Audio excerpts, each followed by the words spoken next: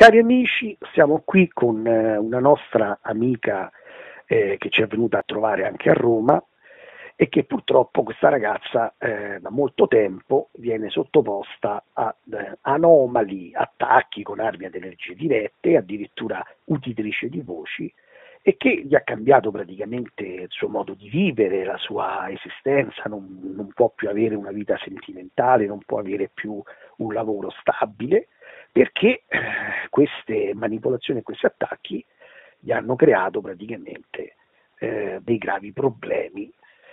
Poi la ragazza adesso sembra che si sta riprendendo la sua vita perché sta uh, da due o tre giorni in villeggiatura e mi ha detto tramite telefono che praticamente sembra che è rinata, che il suo cervello sta ragionando, ma voglio lasciare la parola alla nostra amica che attualmente vive nella regione Lazio. Però eh, la ragazza ovviamente si è dovuta spostare anche per motivi di salute perché veniva attaccata a queste frequenze, a queste manipolazioni, ovviamente sentendo le voci di continuo che gli parlavano in testa, gli facevano credere delle realtà che potevano essere anche distorte. Lascio la parola alla nostra amica. Sì, eh, salve a tutti. Eh, e voglio raccontare un po' la mia storia uh, in, diciamo, a grandi linee. E ho lavorato per 12 anni presso uno studio di professionisti e associati e mh, mm, praticamente mi si eh, metteva della, della droga ehm, nell'acqua eh, in una bottiglietta che io tenevo sotto la scrivania e mh, mm, era una bottiglia un litro e mezzo per cui se non riuscivo a berla tutta quanta nella stessa giornata il giorno dopo io continuavo a bere quella stessa acqua.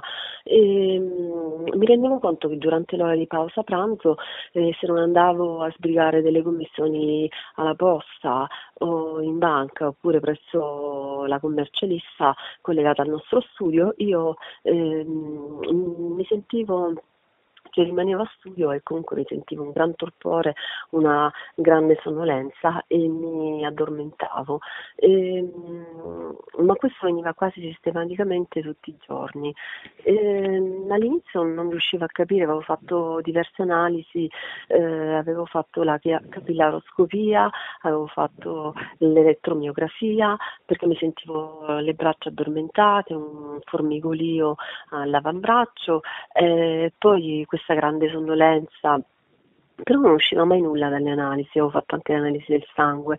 E, ehm, purtroppo nessuno mi aveva detto che avrei dovuto fare magari un esame, to- eh, un esame tossicologico e, ehm, e, mai l'ho fatto, però effettivamente poi mi sono resa conto eh, che mi mettevano qualcosa in modo tale da addormentarmi eh, in, quel, in, quel, determinato periodo di, di pausa. Ma la stessa cosa che sia stato una sorta di eh, farmaco ipnotico, narcotico? Io penso che sia stato il GHB, ossia la droga dello stupro, perché col segno di poi sempre, perché io oltre a, a fare da segretaria in quello studio, eh, facevo anche, eh, sfaccendavo nelle varie stanze per mettere a posto, per metterle a posto. E, e mi sono resa conto di aver visto eh, in uno dei vari studi eh, una bottiglietta eh, eh con, bianca con, di plastica con un eh, sole e poi degli occhiali eh, scuri. Ehm, questa stessa bottiglietta, andando a fare delle ricerche su internet, ehm, l'ho ritrovata fra le varie bottigliette del GHB, quindi l'ho riconosciuta, però questo ovviamente qualche anno dopo. E, ehm, quindi non ho dubbi a riguardo. E, però le analisi non hanno riscontrato niente. Analisi no, però non ho mai fatto l'esame tossicologico che sarebbe stato quello eh, più indicato per scoprire eh, eventuali eh, presenze di, di, questo GHB. Ma hai fatto mai un elettroencefalografo per vedere? No, mai, eh. no, purtroppo no. E, ehm, poi tra l'altro, siccome eh, fino a tarda età diciamo, non avevo avuto ancora rapporti sessuali completi, eh, mi sono resa conto una notte, perché purtroppo queste persone, oltre ad addormentarmi in studio, eh, mi addormentavano anche ehm, a casa, cioè nel senso che queste persone si erano fatte il doppione di, delle chiavi di casa ed entravano regolarmente dentro. E um, un mattino io mi sono svegliata eh, che avevo un gran dolore al basso ventre e poi anche delle eh, macchie di sangue che erano fatte di, sangue rosso vivo, quindi mi sono resa conto di essere stata eh, violentata. E, e questo eh, mi ha portato ad avere mh, dei grandi sospetti, perché io praticamente facevo lavoro casa, casa lavoro, quindi non è che avessi un giro al di fuori del lavoro, eh, non frequentavo nessuno perché mi ero un po' ritirata in me stessa, anche perché il lavoro assorbiva gran parte della mia nella mia giornata, tant'è che arrivavo a casa verso le 8 eh, già ehm, con un grande, una grande sonnolenza e il tempo di entrare magari mi mi adagiavo eh, quei dieci minuti sul, sul, letto, dopodiché proprio crollavo in un sonno profondo e mi svegliavo verso le due, ehm, saltando la cena con la televisione eh, ancora accesa, la luce accesa e mi ritrovo veramente, cioè ammazzavo che ero proprio stordita. E, una sera, un, un, mattino in particolare, mi sono svegliata che pur avendo dormito tutta la notte senza interruzione, mi sono svegliata che come se ehm, avessi dovuto mh, mm, andare a dormire in quel preciso istante, cioè proprio una sonnolenza incredibile, cioè, il cervello me lo sentivo veramente stordito. E, ehm, e secondo me lì forse avranno un po' calcato la mano rispetto al dosaggio normale. E, ehm, e quindi andavo al lavoro normalmente, nonostante questo, eh, questa sonnolenza che veramente non riuscivo da, a capire da che cosa dipendesse. E, um, mi sono ritrovata a casa una penna spia, che poi eh, quella stessa penna spia l'ho vista anche in, de, in, una di queste stanze dello studio. E, um, poi mi sono ritrovata delle cimici eh, che erano formate tipo non grande più di una scatola di, di fiammiferi, erano grigie, ne avevo trovate due, una eh, messa dietro eh, il televisore e un'altra in direzione del, um, dello specchio del bagno, ehm, che praticamente... Eh, purtroppo no, purtroppo no perché lì per lì pensavo che fosse il telecomando eh, un telecomando perché avevano diciamo una forma come se fossero state sì, un, un, come se fosse un telecomando di un qualsiasi cancello. Siccome era venuto mio fratello eh, qualche giorno prima pensavo magari se lo fosse scordato lui. Però poi quando io ho fatto fare una bonifica ambientale eh, da una società romana e il giorno eh, prima eh, che questa società venisse a fare questa bonifica erano già scomparsi. E, um, abbiamo tolto sia quello del televisore, quello dietro al televisore che quello sulla, eh, sul, diciamo, corridoio che era messo in direzione del, dello specchio eh, che mi riprendeva praticamente quando facevo la doccia. E, um, e quindi eh, niente, mi sono eh, ritrovata che quelle scatolette non c'erano più dentro casa. E... Dopo che ti hai fatto tutte queste ricerche, sì. tu mi hai detto che ti hanno incominciato a parlare in testa attraverso delle frasi sì. con messaggi subliminali. Quello è venuto dopo essere stata licenziata, perché mh, ho dato delle battute lì a studio facendo capire che ho capito insomma che eh, le persone che mi mettono dentro casa provenissero eh, dal mondo del lavoro.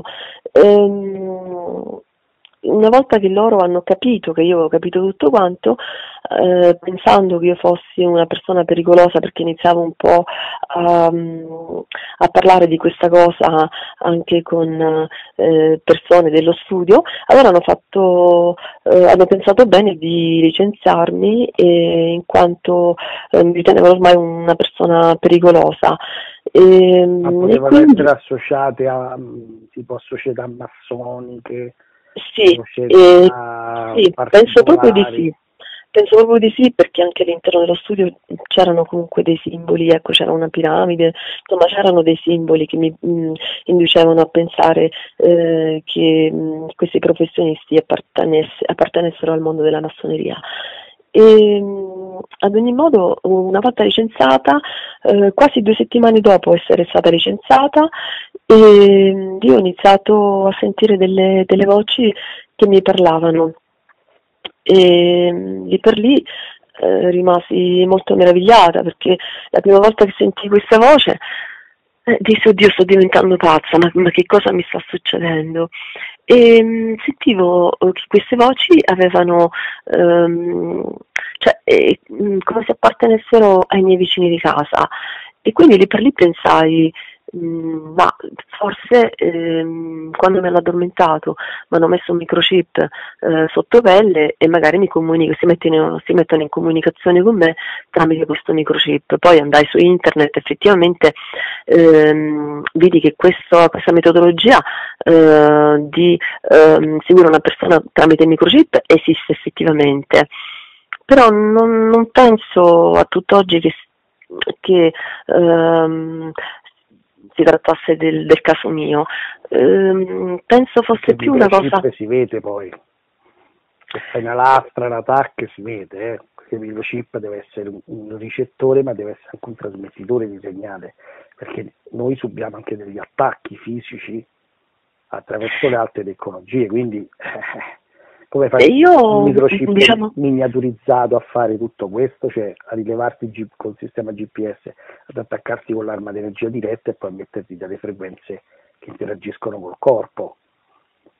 Io a distanza, diciamo, soprattutto nei primi tre mesi ehm, che eh, sono seguiti al mio licenziamento, ehm, ho subito gli attacchi veramente quelli più grossi, ehm, a tal punto che io poi sono andata a finire eh, al centro psichiatrico di un famoso ospedale romano. No, no, spiegali però quali sono gli attacchi, così le altre persone capiscono che sì. subiscono le stesse identici attacchi, hanno le stesse identiche patologie, di non credere sì, so... che sono pazzi, ma che vengono attaccati da questi sistemi, perché la gente crede che io sono diventato pazzo e fa dei gesti magari disperati, ma in realtà potrebbero essere sottoposti a una sorta di esperimento, una sorta di manipolazione radiocognitiva.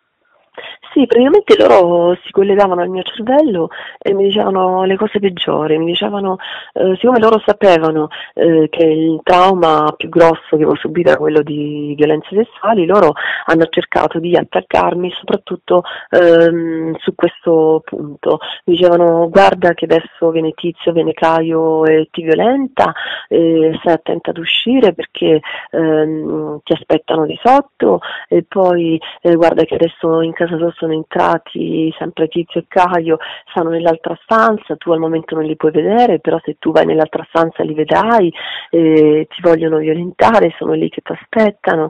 Ehm, insomma attacchi di questo genere, poi addirittura mi dicevano che mia mamma eh, era deceduta mentre stavo fuori.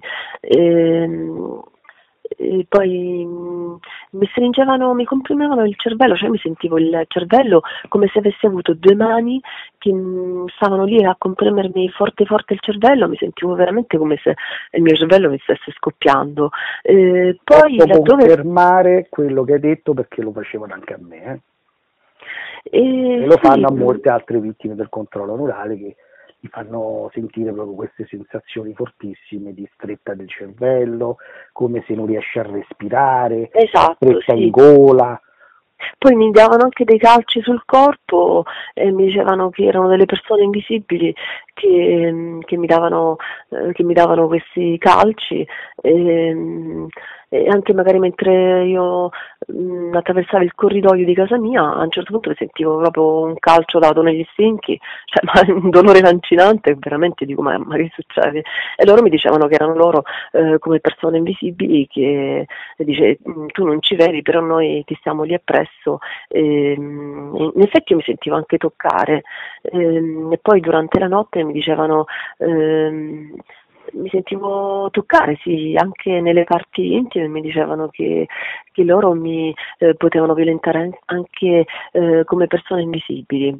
Sì, è vero. E, perché e con poi... lo stato ipnotico e narcoletico riescono a creare un clone del tuo corpo e attraverso la mappatura eh, cerebrale o addirittura le frequenze in neurofisiologia applicata o in risonanza sensoriale, loro possono clonare le due frequenze. Clonando le due frequenze possono addirittura toccare un, un colone, un manichino olografico, ti faccio un esempio, quello che il manichino eh, sente, cioè le sensazioni del tatto, te le possono rimettere sul corpo. infatti molte persone che credono di essere addotti o di essere stati rapiti dagli alieni, ma in realtà vengono sottoposti a queste stesse tecnologie, però la loro mente pensa all'alieno oppure pensa a un'altra forma eh, di un'entità superiore, ma in realtà non riescono a capire che sono proprio tecnologie che vengono attestate attraverso questi sistemi sul nostro corpo.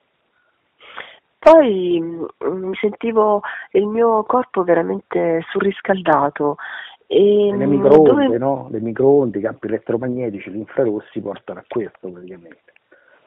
Poi mi dicevano eh, che cioè, proprio erano delle pressioni psicologiche, eh, mi dicevano veramente cose orrende, cose brutte riguardo la mia famiglia, riguardo me stessa.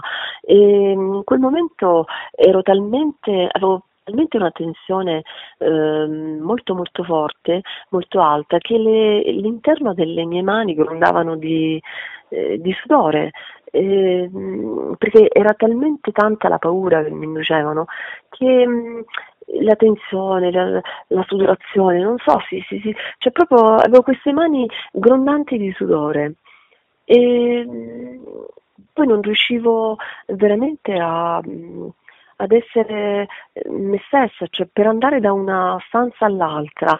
Io in quel periodo che mia madre mi aveva raggiunto perché sapeva che eh, mi avrebbero licenziato di, da lì a poco e poi una volta licenziato mia madre mi ha fatto compagnia per almeno un anno e quindi io chiedevo l'aiuto a mia madre di accompagna- accompagnarmi da una stanza all'altra, proprio perché avevo, avevo paura, ero diventato ormai un automa, ehm, eh, non avevo più sì, terrorizzata esattamente. Anche quando dovevo andare in bagno chiedevo a mia madre, mamma vieni perché altrimenti non mi rilasso, non, non, non riesco insomma a rilassarmi neanche in bagno. Quindi ehm, lei mi doveva accompagnare come se io fossi stata una persona eh, non autosufficiente a me stessa. Ma io e... posso dire una cosa, io ho conosciuto questa ragazza cioè lo voglio dire a le persone che ci ascolteranno, io ho conosciuto questa ragazza, vi dico, una bravissima ragazza che quando l'ho vista ho detto veramente come hanno fatto a farti questo a te. Purtroppo le brave persone, le brave ragazze che riescono a sentire determinate frequenze extrasensoriali vengono attaccate perché hanno una fortuna di rilevare questi sistemi, ma nello stesso tempo hanno una sfortuna perché vengono considerate cave da laboratorio come io e altre centinaia di altre persone che hanno fatto le interviste sulla mia radio web mi hanno Babilonia Springer, insomma, e poi potete ascoltare le interviste su tutti i canali di YouTube.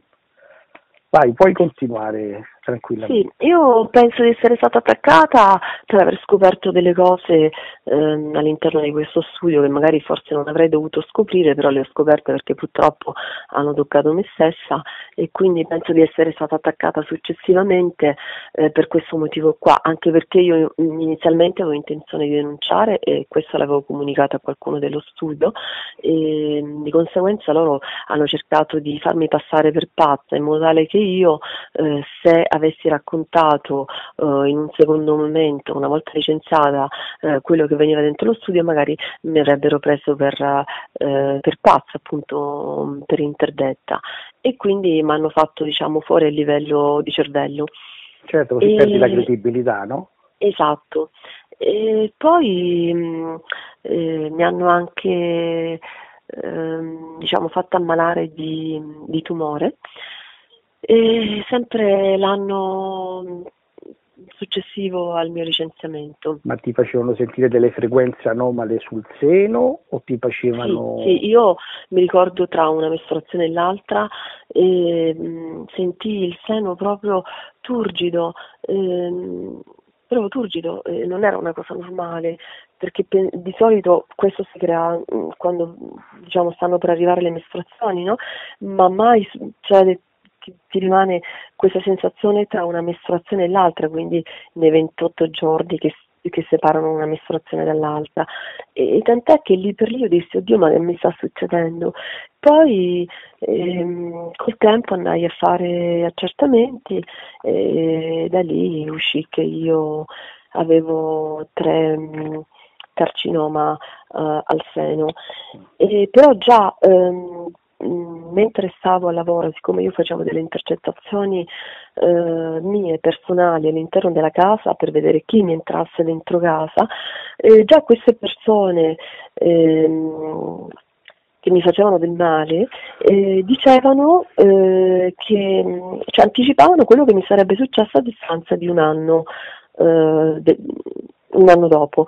Mi dicevano, eh, ridendo e deridendomi, ah, ah, lei tanto adesso rimane pelata, perché in effetti poi dopo la chemioterapia io ho perso tutti i capelli, poi vabbè mi sono ricresciuti eh, ad ogni modo mi è successo quello che loro avevano anticipato, ossia che sarei rimasta pelata, eh, che avrei, dice, ah, ah, adesso lei rimane con un seno, avrà un seno bionico. Cioè, e... ma loro te lo dicevano ancora prima che ti avevi scoperto che avevi avuto? Sì, sì, sì, l'anno prima, era settembre del 2013, quando loro eh, deridevano il mio futuro ma stato di malattia. queste tecnologie ti potrebbero aver causato questo, questo male o che siano stati dopo di sì.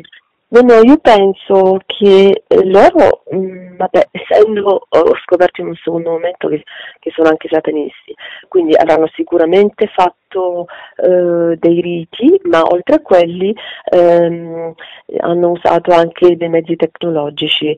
Eh, quindi tra il surriscaldamento eh, dovuto alla pressione ehm, psicologica mentale ehm, e eh, i loro riti, eh, cioè tutte e due sicuramente hanno portato questo, alla creazione di, questo, di, questi tre carcinoma ehm, al seno.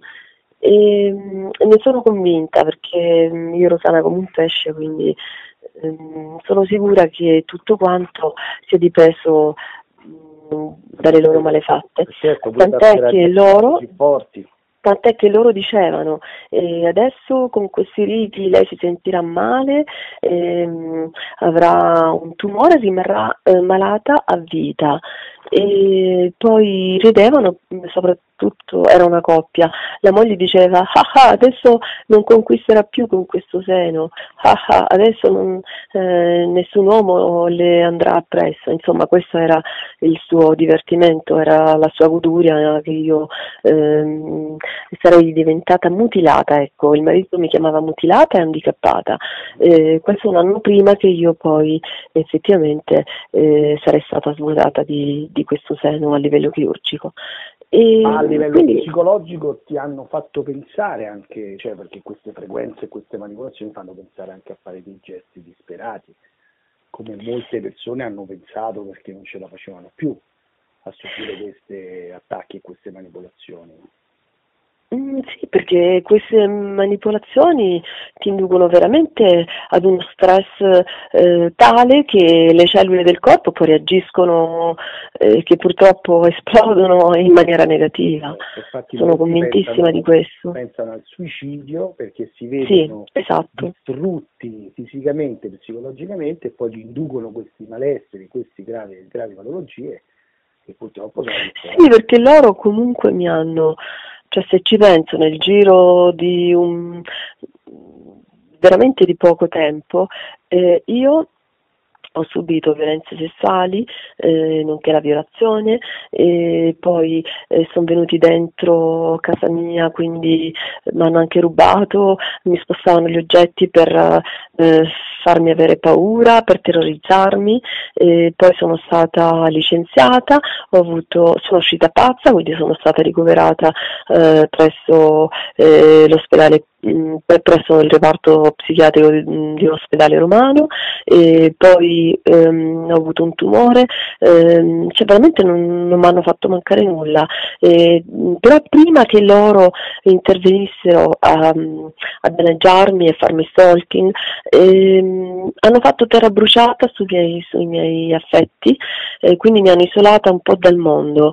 Eh, tutte le mie amicizie piano piano me le hanno allontanate eh, o per un motivo o per un altro notavo che piano piano io ero piena di amici, ma veramente piena, addirittura dopo, cioè avevo amicizie universitarie ventennali, quindi piano piano piano piano mi hanno fatto terra bruciata in modo tale che la vittima, ossia io, eh, rimanessi isolata prima di potermi attaccare ehm, con, con, tutti i loro mezzi, prima sul lavoro e poi eh, nella vita privata.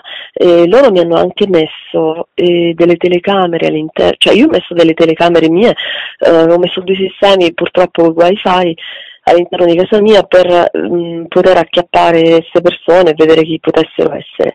Ehm, ci sono arrivata non con le telecamere eh, ma con le intercettazioni. Ehm, con le telecamere eh, purtroppo loro eh, mi hanno detto che probabilmente hanno utilizzato uno strumento che si chiama Jammer con cui potevano bloccare il segnale del, eh, di questi due sistemi eh, di videosorveglianza e quindi potevano entrare tranquillamente.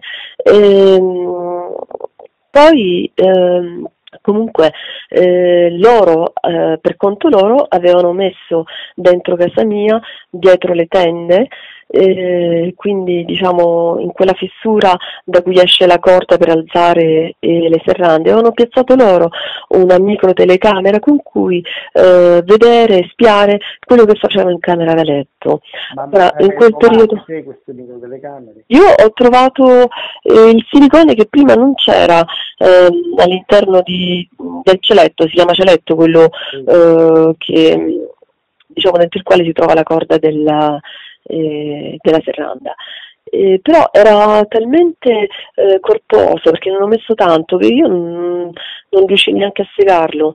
E poi di colpo, eh, in, diciamo, eh, verso agosto del 2014 lo trovai io segato, cioè quindi fecero loro una bonifica, Mm, perché io ormai avevo coperto con un pezzo di carta questa fessura, quindi loro avevano capito che avevo capito pure dove si trovavano eh, le loro telecamere, perché vedevo che loro facevano commenti mentre io stavo dentro casa e quindi da qualche parte mi dovevano spiare. Eh, però potevano anche utilizzare le frequenze due cerebrali attraverso la sincronizzazione degli occhi e dei condotti uditivi, quindi potevano anche vedere dai tuoi occhi e sentire direttamente dalle tue orecchie. Sì, allora io sentì la moglie che diceva eh, ma eh, io avrei potuto eh, contare ulteriori ehm, cose, elementi tecnologici per eh, poterla spiare, ma basta, mi basta eh, la piramide. Dalla piramide io riesco a vedere tutti i suoi movimenti, quindi è sufficiente la piramide. L'occhio massonico della pineale che permette di aprire le tue frequenze cerebrali e far sì che loro possano vedere attraverso la tua mente praticamente. Eh sì, perché lei diceva che praticamente ehm, era inutile comprare eh, ormai ulteriori elementi tecnologici perché da quella piramide loro già potevano vedere tutto eh, quello che faceva e che non faceva all'interno della mia casa o anche fuori. E, ehm, e io all'epoca frequentavo una persona, loro praticamente facevano i commenti su, su ciò che facevo io nella camera da letto con, con questa persona. Cioè veramente non avevo, non avevo più privacy. Ti dicono come ti devi vestire, quello che devi fare, quello che ti, quello che ti piace, quello che non ti piace. No, loro poi tra l'altro eh, mi chiamavano in, tutti, in, tutte le maniere eh, possibili e immaginabili, eh, con cui si può chiamare diciamo, una persona che si dà alla perdizione, cosa che veramente non mi riguardava perché la persona che io frequentavo allora era una, diciamo, l'unica persona che io avevo frequentato dopo aver eh, diciamo, eh, toccato i 42 anni. Ecco, quindi voglio dire, se una persona che frequenta um, il sesso opposto dopo 42 anni e ci fa qualcosa, viene considerata mignotta. No, eh, una bravissima e... ragazza, questo lo posso confermare pure io. No, io ti dico quello, cioè gli appellativi con cui loro mi chiamavano, erano solito chiamarmi dall'altro lato, ecco. E quindi cioè, mi, mi prestavano veramente, mi dicevano cose brutte, veramente brutte. Eh, lo so, pensa che c'è una signora di Roma che ha fatto lo sciopero della castità e lei mm-hmm. sono 7-8 anni o 10 anni che praticamente non ha più un uomo, non ha più nessuno e perché ovviamente le voci gli dicono in testa che lei è una prostituta, che lei è una meritrice da bordello, che lei fa tutte queste cose sporche, queste, queste cose pornografiche, invece lei dice ma io non ho fatto mai niente nella mia vita di queste cose, perché dovete dire queste cose? e purtroppo gli fanno credere che tutti i vicini di casa vedono sui canali televisivi e sui canali eh, internet i suoi film, ma in realtà ah, noi abbiamo fatto delle prove, abbiamo cercato in tutti i modi il suo nome attraverso la sua immagine, attraverso delle fotografie. No, però credo, credo che quello che loro riprendano, perché loro mi hanno effettivamente ripreso, eh, so addirittura che loro hanno venduto lo stupro a 20 euro, so anche il prezzo. E, sì, sì, a 20 euro. E eh, anche i filmini che loro hanno fatto su di me e anche sui, ehm, sugli stupri, cioè loro addirittura dicevano che eh, mi avevano venduta nel momento in cui loro mi addormentavano, eh, mi avevano venduta a clienti di Arezzo, eh, ad un cinese, addirittura loro dicevano pure i prezzi, che con uno avevano guadagnato 180 euro, che loro mi chiamavano pazza eh, con la pazza abbiamo guadagnato 180 euro con questo cliente, con un'altra, con un altro dice dopo tre ore eh, ci ha dato solo 15 euro, ehm, un altro 80, cioè quindi mh, diciamo veramente dai loro discorsi se effettivamente sono veri ehm, se è vero quello che loro dicono, in pratica mi avrebbero venduto e avrebbero filmato eh, questi rapporti e li avrebbero postati su internet, ovviamente non sul, su internet eh, normale, ma sul deep web, eh, laddove magari con dei codici attraverso i quali eh, i, questa, eh, queste persone sataniste sono abilitati a guardare e quindi ovviamente loro ci guadagnano pure perché dice se vuoi andare su questo canale noi ti diamo il codice, tu paghi e puoi andare a guardare questa tizia eh, che abita in questo quartiere, magari mh, mm, eh, avranno contattato anche persone che mi conoscono nel mio quartiere, no? Eh, io ho notato anche un movimento strano all'interno del mio palazzo, eh, sono stati dati dei... La è molto elevata per poter essere utilizzata su semplici canali internet, su semplici canali televisivi. Eh sì, però considera che ehm, le persone che mi entravano dentro casa erano, ehm, secondo me, ehm, capeggiate da, da persone ricche, molto ricche. Tecnologia prettamente militare, perché tecnologia civile. Eh sì, ma mm, delle persone avevano sicuramente degli agganci, le persone ricche poi hanno comunque degli agganci, soprattutto se sono persone massoniche, di sicuro non gli mancano gli agganci eh, di, di, persone molt- cioè di un certo rango, quindi eh, come tutti sappiamo la massoneria si avvale sia di persone di alto rango che di persone veramente eh, così veramente molto molto basse.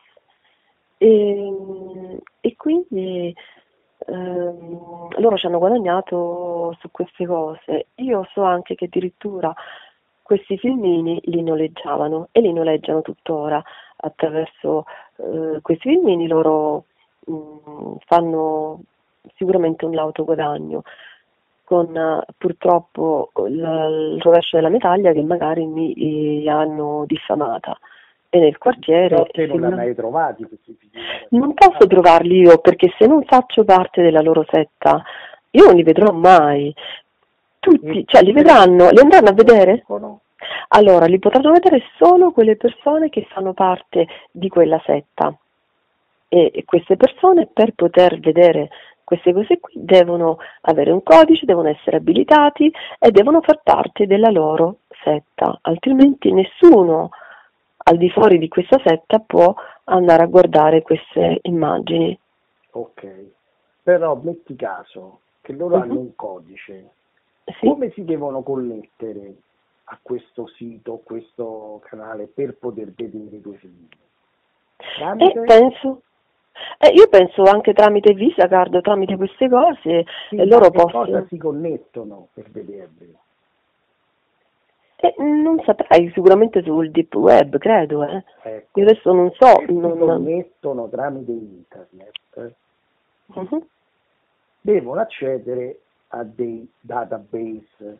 Questi database Sì, però mi sono informata su internet, sul deep web, dice che addirittura per non essere ehm, intercettati dalla mh, polizia postale, eh, loro hanno mh, tantissimi codici che nei vari meandri del deep web, che veramente è una cosa farraginosa, mh, dice che anche per la polizia postale è molto difficile arrivare poi al- all'oggetto finale, mh, in quanto ah, mh, vanno con un codice, poi quel codice eh, si ehm, avvale di un altro codice e quest'altro codice se ne avvale di un altro, cioè è un, come dire, un labirinto proprio per cercare di eh, bypassare un eventuale controllo o intercettazione da parte della polizia postale.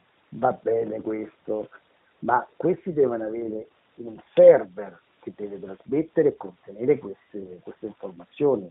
La polizia postale quando fa la tracciatura della persona che viene individuata, che entra all'interno di questi siti, la persona individuata dopo, se ritorna un'altra volta nello stesso sito, c'è la seconda tracciabilità. Cioè non è un hacker che mette un virus e poi scompare dal web e non verrà mai più rivisto con quel computer o non metterà mai più, non, non si connetterà più sul sistema.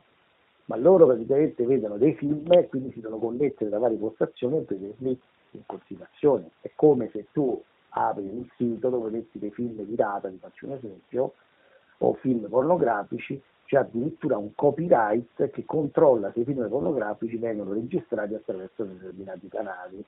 Esistono proprio dei server che gestiscono questa cosa e vedono praticamente se ci sono dei filmati che potrebbero essere soggetti di persone importanti o addirittura di bambini piccoli. Quindi la tecnologia deve essere molto avanzata per operare. Eh, penso proprio di sì, eh, perché non penso che queste siano persone, eh, sicuramente sono persone che hanno un certo grado di conoscenza, soprattutto informatica e tecnologica.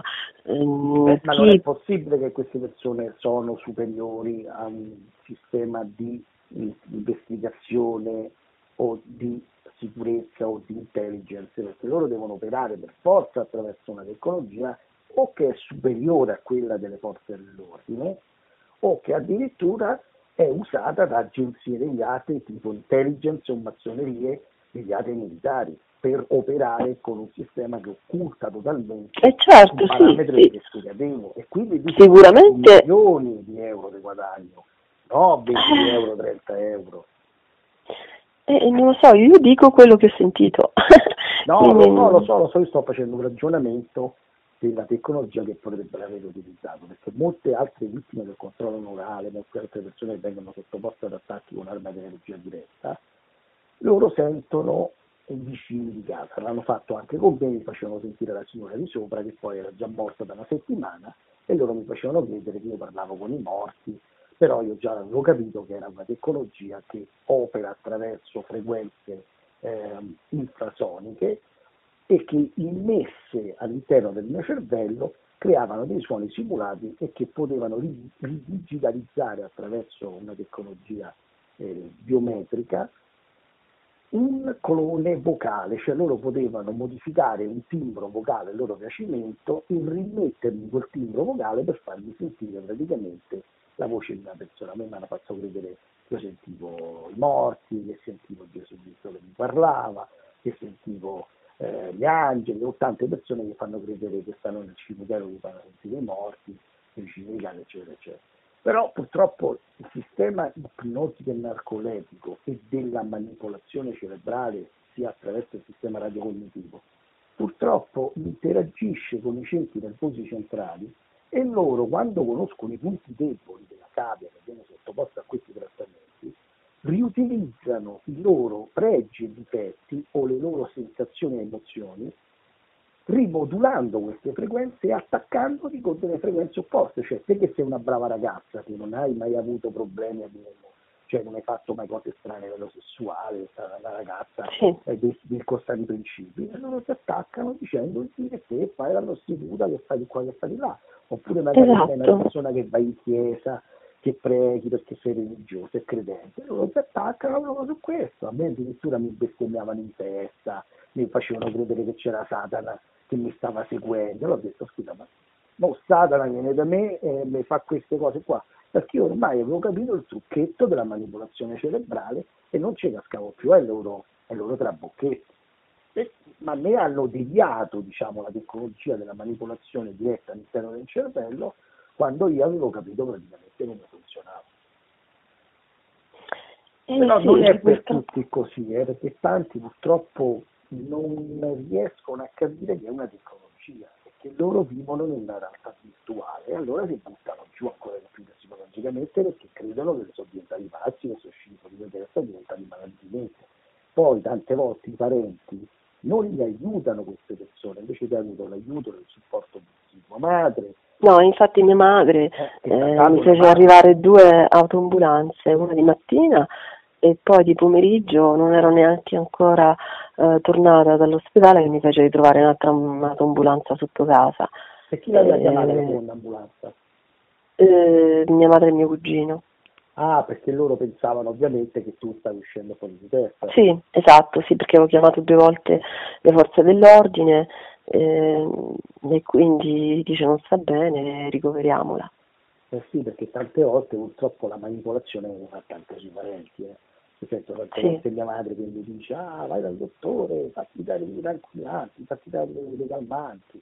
Allora, si trovi intelligentemente eh, i farmaci che mi hanno eh, diciamo somministrato che hanno cercato di somministrarmi e io mh, li mettevo in bocca, poi come, loro, come gli infermieri giravano le spalle li buttavo perché io mi rendevo conto di essere abbastanza vigile. Eh, l'unica cosa che non ho... no, assolutamente no, io ero lucida. E l'unica cosa che non ho potuto fare a meno erano invece ehm, era il bicchierino che conteneva un liquido e quello non potevo fare a meno di prenderlo perché ehm, loro mi facevano parlare subito dopo e quindi la bocca la dovevo avere vuota. Eh, quindi dovevo aver degluti, deglutito quello che, che mi hanno eh, dato come, come, liquido. Invece le pillole eh, le mettevo sotto la lingua oppure lateralmente, eh, quindi anche se mi facevano aprire bocca, io dimostravo loro di averli ingoiati, in realtà non era così. E quindi diciamo che mi sono salvata. Però tante altre persone come me vedevo che eh, io adesso attualmente frequento un, un gruppo di uditori di voci, Villa, però noto, è molto importante sì, del gruppo.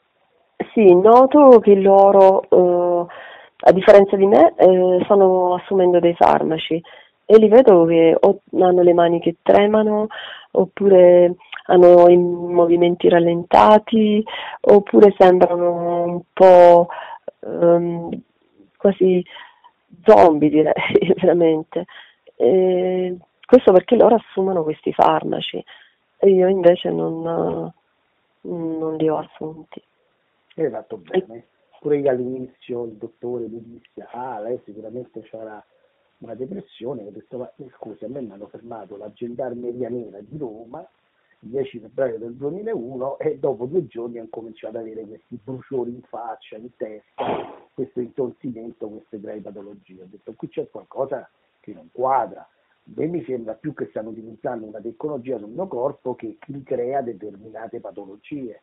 Ovviamente sì. il dottore eh, aveva detto a quei tempi che io credevo che utilizzassero i telefonini per irradiarmi sul corpo delle frequenze che potevano essere magari intercettazioni ambientali prese direttamente dai miei telefoni e che loro clonando i miei telefoni potevano ascoltare e vedere attraverso praticamente mio stesso telefono, però a quei tempi non c'era la telecamera sul telefono, cioè c'erano solamente i telefoni, eh, i telefoni eh, a quei tempi GSM che uh-huh. operavano con determinati tipi di frequenze e dopo li hanno, li hanno, sostituiti, però le radiazioni erano devastanti, addirittura dovevo staccare la batteria quando camminavo per strada al centro storico di Roma perché mi veniva da svenire, mi sentivo dei blocchi fortissimi respiratori, dei mal di testa improvvisi, appannamento totale della vista, acufeni fissi fortissimi all'interno delle orecchie, cioè, poi mi sono accorto che questa frequenza dipendeva da qualcosa che proveniva dall'alto perché i lampioni defibrillavano, cioè quando io passavo sotto il lampione, il lampione incominciava a accendersi e spengere. Allora io che cosa facevo? Mi spostavo da um, un lampione all'altro perché volevo vedere se succedeva veramente su tutti i lampioni. Purtroppo succedeva su tutte le luci a neon e io ci passavo sotto. E, ah. e, lì mi sono accorto che utilizzavano dei campi elettromagnetici, infatti sono andato poi su internet a studiare che tipo di eh, campo magnetico poteva creare questa, questo blocco del, della luce del neon e c'era mhm. scritto proprio che potevano essere modificate le frequenze elettromagnetiche dei reattori e cambiare una determinata frequenza e facevano sì che il reattore non riusciva più ad accendere attraverso una pressione magnetica questo tubo. Boh, la descrizione tecnica io l'avevo eh, letta un po' di tempo fa, purtroppo col fatto che loro ti creano il blocco della memoria temporanea. Sì, vero, vero, questo lo posso confermare. Cioè, proprio si creano dei vuoti di memoria di pochi secondi. Addirittura mm, come se loro ti togliessero eh, dalla mente eh, per brevi secondi ciò che tu hai fatto anche magari che ne so, nel mattino, durante la mattinata stessa, magari te sei nel pomeriggio e, e ti scordi eh, quello che hai fatto qualche ora prima, ma sono determin- proprio mm, così, secondi, brevi secondi. Perché è come se noi viviamo in uno stato di sonnambulismo. E poi a volte è come, esatto, a volte è come se ti ehm, appannassero proprio il cervello sì, sì, proprio te lo annebbiano, ecco. Eh, certo. Non ti ricordi più determinate cose, addirittura mi facevano dimenticare so, le chiavi, eh, il portafoglio, il telefonino, non lo trovavo più, dicevo ma com'è possibile? Ma ce l'avevo un minuto fa il telefonino eppure me lo facevano dimenticare. O tante volte infatti bloccano alcune parole che magari sono parole tecniche che te vuoi esprimere oppure vuoi e creare un concetto, un determinato tipo di discorso, magari quando stai con persone che magari sono esperte, come a me tante volte faccio delle interviste a ricercatori, a dottori, a medici, allora cerco di parlare più tecnico possibile per far capire certo. alle persone che eh, ci stanno sia seguendo che alle persone che sto intervistando determinati miei concetti, determinate mie ricerche, determinati miei studi. Allora tante volte ti bloccano quel ragionamento, quella parola chiave che fa capire quel tipo di analisi che sto facendo in, que, in quel periodo, in quei giorni. Eh, purtroppo lo fanno, ma non lo fanno solo a noi, lo fanno a moltissime altre vittime che vengono attaccate in questi sistemi che hanno riscontrato tutti quanti le stesse identiche forme di attacco, manipolazione e di eh, blocco cerebrale in, che bloccano la memoria temporanea e non si ricordano veramente quello quello che stavano facendo un minuto prima, quello che stavano facendo cinque minuti prima. Tanti dicono va bene, sarà l'età, tanti dicono va bene, ogni tanto uno si può dimenticare, tanti dicono una cosa, tanti dicono l'altra, ma dico ma scusa, com'è possibile? Io prima mi ricordavo tutti i progetti, tutti i lavori, tutto quello che facevo 25 anni fa, però da quando mi hanno collegato con questo sistema, del 10 febbraio del 2001, ho i vuoti di memoria eh, continui. Cioè, qualcosa che non quadra. Perché mi ricordo certo. Tutto, tutti gli avvenimenti che sono successi prima, ma non mi ricordo determinati avvenimenti che mi stanno accadendo in questo momento. Cioè mi ricordo cose di 40 anni fa, ma non mi ricordo le cose che sto pensando in tempo reale. Sì. E a me succedeva anche quel cellulare, cioè loro dicevano di avere il mio email, tramite il quale loro potevano controllare i miei messaggi, in entrata e in uscita. Questo è vero, questo è vero, possono clonare il tuo telefono. Sì, loro avevano proprio il mio email, proprio l'hanno detto tranquillamente nelle intercettazioni. E, ehm, quindi loro sapevano i miei, se io mi dovevo incontrare con una persona, loro già sapevano anticipatamente l'orario e tutto perché loro avevano eh, la, la, capacità insomma, di, di collegarsi uh, al mio cellulare, sapevano già anticipatamente se, se magari che ne so, eh, mi squillava il cellulare, loro già anticipatamente sapevano chi eh, stesse per chiamarmi. Mm. Certo, loro lo sanno perché interagiscono attraverso la rete telematica e eh, quindi possono sapere attraverso le tecnologie avanzate tutto quello che vogliono, attraverso pure i dati dei telefoni, attraverso le deduzioni cerebrali, ma io credo che molte persone che ci circondano sono pilotate a sua volta, ma non si accorgono di essere pilotate, cioè sono anche loro cavie, ma non sono consapevoli. Uh-huh. Infatti molti avvenimenti tante volte sembrano strani, tante volte penso che so, a una persona, dopo un minuto la persona mi, mi telefona, o tante volte parlo, non ti ho detto di un avvenimento che è successo qualche giorno fa, stavamo a casa di, di una coppia di ragazzi, la ragazza è incinta, allora la ragazza mi diceva che lei ultimamente sentiva delle nuove vibrazioni sulle mani. Allora io mi sono avvicinato alla ragazza e gli ho detto scusa, ho detto aspetta, metti le mani così, lei ha messo le mani sul tavolo, rivolte verso l'alto, io ho preso le mie mani e le ho messe sopra, ma non sopra toccandola, stavo a 4-5 cm dalle sue mani.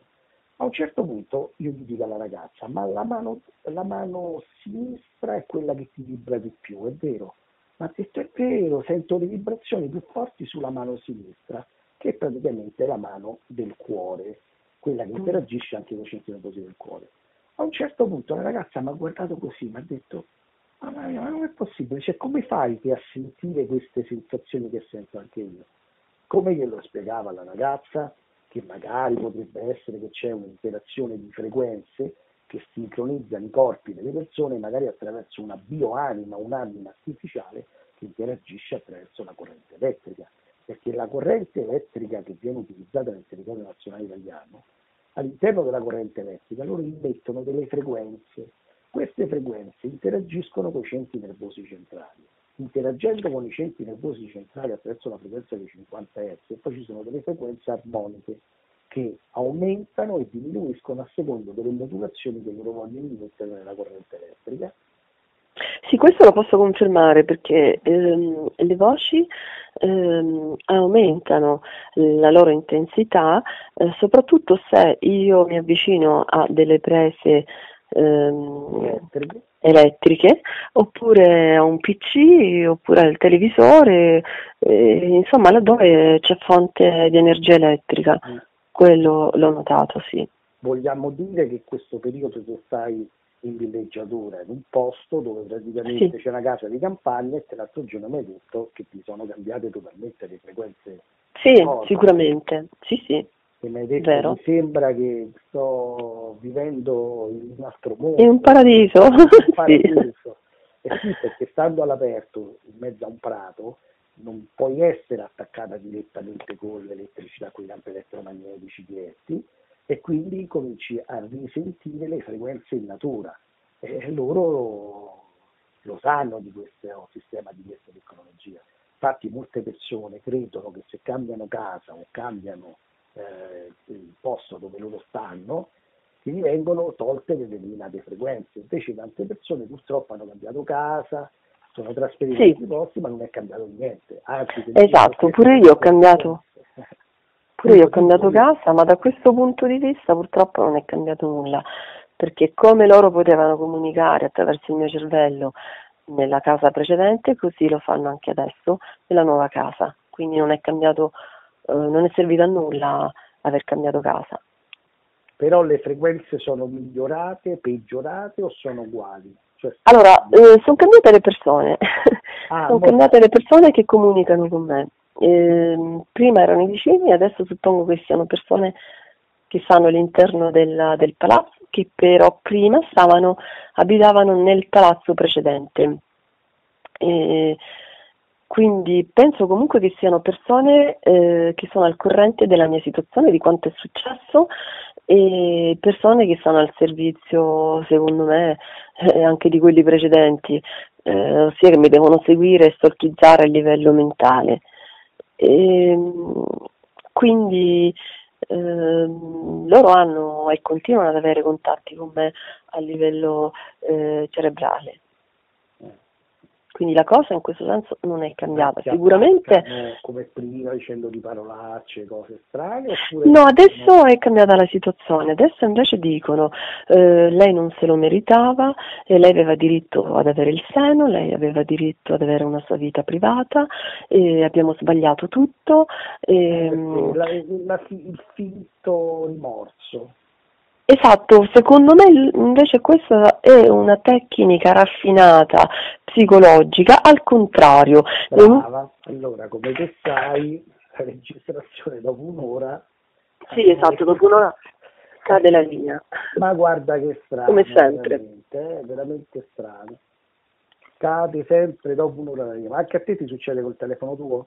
Sì, sì, sempre, sistematicamente. Si vede, si vede che qualcuno ha delle registrazioni automatiche eh, inserite sui nostri telefoni e praticamente dopo un'ora devono bloccare la registrazione e la devono far ripartire con una seconda registrazione. Oppure hanno dei file sincronizzati per le registrazioni automatiche che creano questo sistema di disturbo e di manipolazione anche quando uno parla attraverso i telefoni di questi argomenti. Però proseguiamo dal punto dove ci eravamo fermati sì, stavamo dicendo che praticamente loro è un, loro è un finto pietismo, eh, fanno credere che loro eh, sono dispiaciuti del fatto eh, che mi hanno fatto venire un tumore, del fatto che ehm, mi hanno fatto uscire pazza, del fatto che eh, io merita- non, mi meritavo tutte queste cattiverie, che loro mi hanno fatto cattiverie su cattiverie, eh, ero, eh, alla fine ero una persona seria, alla fine io vestivo in maniera elegante non per fare la, la, la vita di, di, perdizione, ma perché io ero, ero, semplicemente una donna elegante che vestiva elegantemente e che l'eleganza era fine a se stessa, eh, non era un mezzo per agganciare gli uomini, eh, come loro dicevano inizialmente. Eh, che dicevano che io mi vestivo così per, per, poter abbordare gli uomini. Invece loro adesso, da quello che dicono, si sono resi conto che la mia era un'eleganza fine a se stessa, in quanto vestivo semplicemente elegante, eh, eh, solo così, per, perché quello era il mio stile, eh, il mio modo di vestire e dicono che non mi meritavo le violenze sessuali e che non eh, meritavo eh, di essere chiamata eh, in quella maniera perché io sono una persona seria e che se io mi sono messa con quella persona che loro sanno è perché io ero innamorata. E che invece loro hanno ehm, visto il mio innamoramento come come se io avessi voluto fare la la, come si dice, la mignotta, chiamiamo così, non, non lo so, la, la meretrice, ecco. La meretrice. E, ma, ecco. Tu, ma poi, cioè, in questo discorso, tu avevi detto che questa persona era un militare. Puoi pensare e... che questo militare sia stato mandato apposta da te per mm, no, no, no, no, no, questo... qualche canale? Mm, no, di questa persona, questa persona non, non, è quella di cui abbiamo parlato, questa è un'altra persona, non è, non è un militare. Eh, no, dicevo, quando eri fidanzata con quel militare che te ne dicevi, poteva essere che magari era stato mandato da qualche superiore mm, per vedere non, qualcosa. Non credo, perché, non credo perché l'incontro è stato casa, casuale. E se invece era programmato? Mm, non credo, poi non so, non possiamo sapere. Va bene, no, era solo per così per dirtelo perché mi sono, sono capitate varie situazioni, varie altre vittime che poi si sono ritrovate fidanzate con dei militari, ovviamente questo non è che tutti quanti succede la stessa cosa, ci sono dei militari sì. in Italia che sono molto bravi, addirittura ho fatto pure delle interviste con alcuni poliziotti che hanno dato la loro testimonianza che venivano sottoposti anche loro a questi attacchi, a queste manipolazioni e di cui uno, un ispettore di polizia ha detto che lui ha seguito per tanti anni ehm, una vicenda di un ragazzo che diceva che sentiva le voci che gli parlavano in testa e che sembravano come dei militari che gli partivano degli ordini, addirittura lui stesso ha portato una denuncia scritta dal ragazzo scritta da, anche dalla, dall'ispezione di polizia a, a, in procura e dopo tot mesi è stata praticamente archiviata perché dicevano che non c'era nessun eh, presupposto per poter mandare avanti questa, questa indagine. Come a me mi dissero, ah lei mi deve portare le prove, ah, scusa ma eh, i parti operativi a che cosa servono? I parti investigativi a che cosa servono? Allora io devo portare le prove di un reato che subisco io, cioè è come se una persona viene uccisa eh, ma il cadavere deve portare la prova di chi è l'assassino. Eh, oppure i parenti devono dire, oddio ho trovato un parente morto, eh, ma ci dovete dire chi è, ci dovete portare le prove che l'hanno ammazzato. Cioè, eh, è una cosa assurda, insomma, no? Infatti, sì. pensare le parti operative, le parti investigativi. Ma infatti poi quando vai a denunciare determinati tipi di tecnologia, addirittura una volta un militare mi disse, ah ma io mica posso accettare la denuncia e magari sono gli stessi nostri eh, colleghi che mi stanno facendo questo. Gli ho detto, allora che cosa c'entra? Gli ho detto, mi scusi, e non ha accettato la denuncia, eh?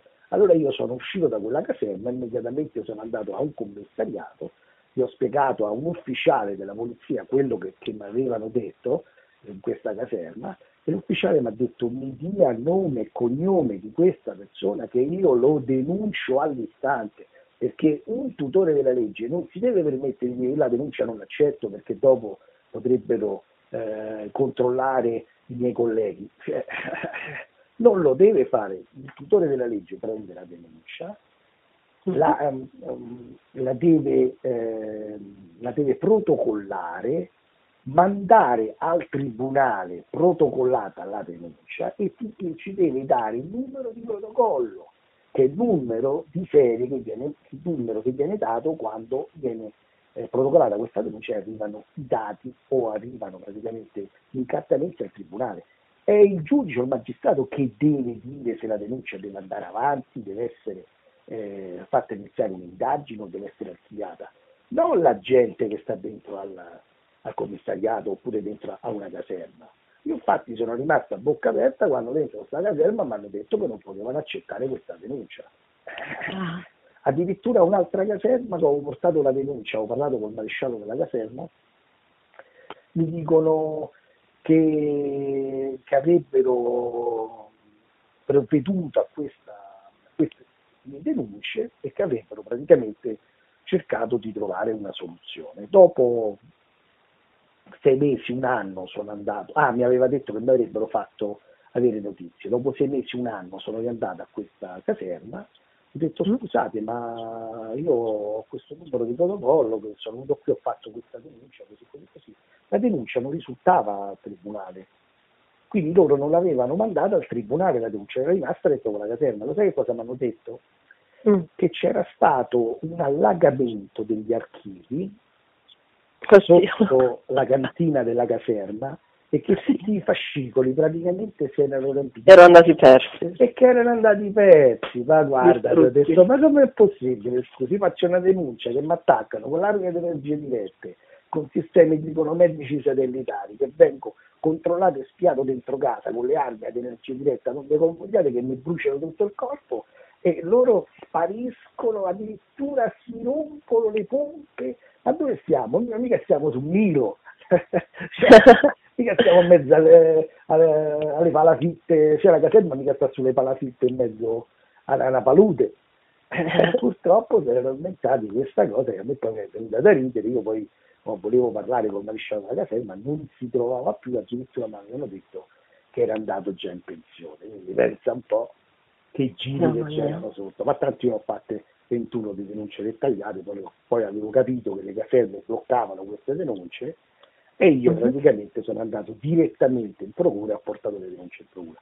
Però devo dire una cosa, che tra di tutta questa storia, Sì? i carabinieri e la Guardia di Finanza sono stati molto restri a portarmi avanti queste denunce a prendere queste denunce. Perché i finanzieri mi dissero, ah ma lei si rende conto che cosa sta denunciando, che tecnologia sta denunciando. E ho avuto un po' di problemi. Invece la polizia sono stati prima delle persone che immediatamente hanno eh, seguito il caso, Sì. mi hanno parlato a livello eh, per un aiuto morale e psicologico sull'accaduto che stava accadendo e hanno Sì. cercato di mandare avanti le denunce. Invece gli altri no, gli altri no, non le possiamo accettare, le dobbiamo, eh, non possono essere mandate, sì, ce le lasci qui, metta una firma, poi vediamo, le denunce non arrivavano al tribunale. Allora ho capito che c'era qualcuno che dall'alto bloccava queste denunce. Allora, una volta che sono andato direttamente al tribunale, l'ufficio primi atti, pensa che dopo la quarta quinta denuncia, una persona che stava all'ufficio mi si avvicina e mi dice, io ti devo dire una cosa, Dico, "Mi dica, io mi ricordo di lei, ho detto, eh sì, anche, anche noi qua dentro siamo tutti spiati. Uno una persona che lavora dentro un posto, dentro il Tribunale di Roma, eh, e te dice una cosa del genere, un attimo a bocca aperta, dice allora qui la cosa non è che la vedo solo io, cioè che capisco che queste persone, che noi veniamo spiati attraverso queste tecnologie, qui sono una marea di persone che si stanno accorgendo che c'è qualcosa che non quadra, che c'è qualcosa di anomalo. E fatalità, dopo che ho portato le successive denunce, il sistema era diventato differente, cioè avevano incominciato ad attaccarmi in altro modo. Adesso loro mi, mettono nel canale come se io sono un criminale, come se io sono un terrorista, come se io sono un mafioso, come se io sono un, un drogato. Perché? Perché non sanno più dove attaccarti a livello fisico, a livello psicologico, allora cercano di attaccarti facendoti credere che sei un criminale e che loro stanno facendo queste indagini perché io sono un criminale. Ma com'è possibile? Cioè è come se vai da un criminale e gli dici ah ma noi ti, controlliamo con questa tecnologia, però continua a fare uguale il criminale. Il criminale che cosa fa? Non farà mai più un criminale. Oppure un, una persona che ragiona un pochettino dice ma scusa ma com'è possibile? Io faccio il criminale e te mi viene a dire che io faccio il criminale? Non è possibile questa cosa perché l'indagine di istruttoria non deve cambiare minimamente la vita di un individuo e un'indagine che viene fatta su una persona non deve interferire con la vita perché se no è un grave reato perché se non andare alla persona che dice ah io ti sto controllando te pedino col satellite. Eh, che la persona Sì, ma infatti secondo me questi sono i crimini attuali, cioè veramente stare addosso a una persona, ma altro che stalking, cioè, ma lì c'è, c'è di tutto, cioè, veramente queste sono le uccisioni tra virgolette moderne, bravo, cioè, bravo. Sono crimini, sono dei crimini e in un altro modo sono legalizzati. Neurali, esecuzioni neurali, loro è come se stanno creando un campo di concentramento a cielo aperto su tutta la nazione italiana. Cioè, sono dei crimini, cioè, già, la parola crimine eh, dice, la dice lunga, eh, la dice tutta. Eh certo, certo, certo, purtroppo è così. Oggi non ti, non ti, voglio uccidere con la pistola e ti sistemo così, cioè eh, io ti perseguito a vita però, a livello cerebrale che è veramente una cosa la pistola, devastante. No, hai detto una cosa giusta, però la pistola in Italia è considerata un'arma. Sì, invece il, questo no. Il satellite o le armi a energia diretta non sono considerate armi. Eh sì, perché non, non hanno ancora preso in considerazione che una va... armi non letali. Eh, sì. Scusa, ma se mi spari la radiazione addosso e a me mi prende un tumore, mi prende una leucemia, mi prende un'ischemia cerebrale, una trombosi, un infarto, oppure mi crei un blocco cerebrale mentre sto alla guida, ma per questo io dico che è queste attuali una, loro la chiamano cibernetica, nel loro gergo la chiamano cibernetica. Io ho imparato questo termine con loro perché neanche sapevo di che cosa, si, che cosa fosse la, la, cibernetica. Cioè, quindi questo è un termine che io l'ho sentito da loro e loro, secondo me, la cibernetica è un'arma silenziosa che piano piano, piano piano, giorno dopo giorno ti uccide. Perciò per me è un crimine. È un crimine a tutti gli effetti, ma, ma ci sono tantissime persone, l'altra settimana mi ha contattato un ragazzo che veniva sottoposto a tortura e lavaggi del cervello con queste tecnologie e dopo un po' ha voluto parlare con me anche il padre e il padre lo aiuta in tutti i modi, ha detto io da quando ho sentito le sue interviste, ho visto i suoi canali su internet, su YouTube, lui abbiamo visto il canale Angeli Custodia e MK Italia e Emiliano Babilone su YouTube, ha detto io da quando ho visto le sue interviste e le, le sue ricerche ho capito che mio figlio non è un malato demente, non è un pazzo, non è uno schizofrenico e, gli ha detto al figlio, eh, siccome loro vanno in un gruppo di aiuto dove ci sono delle persone che eh, sentono le voci, che hanno avuto dei traumi, che hanno avuto delle, dei problemi psicologici, dove si aiutano, ha detto mio figlio è, è, è cambiato, è diventato un'altra persona, sta bene. Allora io gli ho detto a lui, ma avete provato a farvi delle passeggiate in mezzo ai prati, eh, in mezzo eh, sulla spiaggia? Ma ha detto sì, mio figlio ha detto che le voci le sente molto di meno e che si sente meglio. E sì, ma anche, anche, mia madre si è ricreduta dopo quei tre mesi che lei aveva deciso il ricovero, cioè proprio si è ricreduta perché ha visto che comunque piano piano, piano piano sono rientrati in me e che ho fatto un'analisi lucida di quello che mi è successo quindi non è che io stavo fuori di testa, ero semplicemente stressata a livello neurale, eh, perché questi mi bombardavano con la loro cibernetica. E poi le vibrazioni sul corpo che sicuramente hai sentito.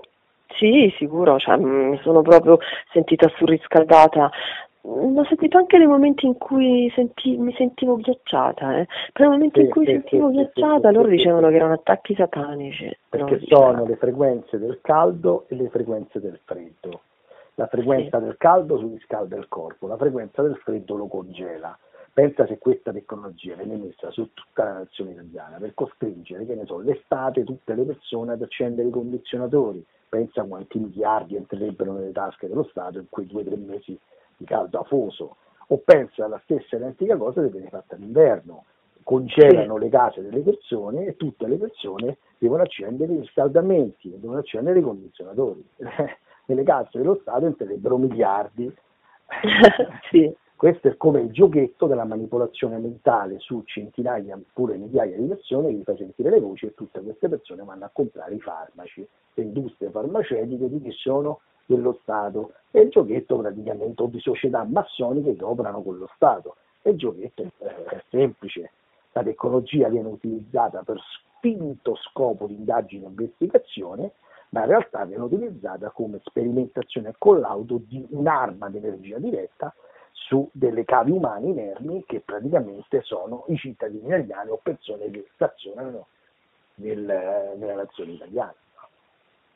Purtroppo è questo il giochetto, è questa la, la reale tecnologia, però la manipolazione radiocognitiva porta che il ragionamento logico viene totalmente deviato che le persone incominciano a credere a queste voci. E questa è una cosa brutta, perché le persone che credono alle voci incominciano a diventare veramente dei manciuriani radiopilotati, cioè seguono solo quello che gli viene detto attraverso queste frasi o queste frequenze, che tante persone adesso non riescono più a capire se sono i loro pensieri o se sono i pensieri messi nel loro cervello quando fanno qualunque cosa. Ma sì, perché loro vogliono, secondo me, manipolare anche la personalità, cioè ti vogliono modellare a loro piacimento. Eh, certo. Cioè loro ti inibiscono anche a livello sessuale, cioè se tu prima magari avevi, cioè adesso mm, loro ti, ti, quasi ti, ti fanno sentire inibita perché eh, giustamente sapendo che ci sono queste persone che ti spiano, che ti giudicano, eh, che si arrogano il diritto eh, di dire tu sei così, tu sei colà, di, di, di, emettere un giudizio su di te, ma è chiaro che mentre prima tu ti sentivi una persona libera, adesso prima di fare una cosa magari ci pensi no? Beh, certo, normale. E quindi è come avere un, un, testimone oculare delle tue azioni quotidiane costantemente H24 e, e quindi ti senti spiata, cioè veramente è un crimine, io lo chiamo crimine per me è tale, non, non posso discostarmi eh, dall'usare un altro termine eh, migliore di questo. Eh sì. Quindi. Allora, io per adesso eh, volevi aggiungere qualche altra cosa sull'intervista o per te pensi che... No, diciamo che in maniera sommaria penso di aver detto quanto mi è capitato. Mm. Ma quando noi ci siamo incontrati a Roma, le tue frequenze erano, si erano abbassate o si erano alzate? E, ehm, quando ci siamo incontrati eh, oddio là con uh, il rumore del, della, della, radio adesso non, non, ricordo bene, però eh, no, si erano abbassati. Eri un po' più tranquilla, più serena? Più... Sì, più tranquilla, più serena, sì.